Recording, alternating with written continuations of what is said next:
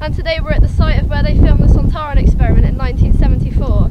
Over there somewhere, we don't really know where, is where the transmat orbs were placed.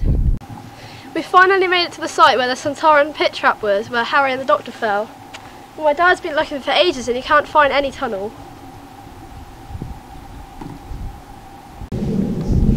This is where the colonists had their base, and they kept the Doctor prisoner on this rock. They asked him lots of questions. This is the rock that Sarah hid behind. Now we're at day two of filming at Hound Tor. Follow me. Where I'm standing is where the Sontaran ship was. This is where the colonists were tortured and they had to hold up big heavy weights.